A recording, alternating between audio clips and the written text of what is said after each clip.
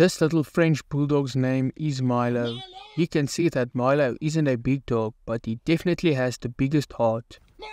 He isn't scared of anything, no matter the shape or size. Milo is a name to be feared across the lands, especially if you're a buffalo.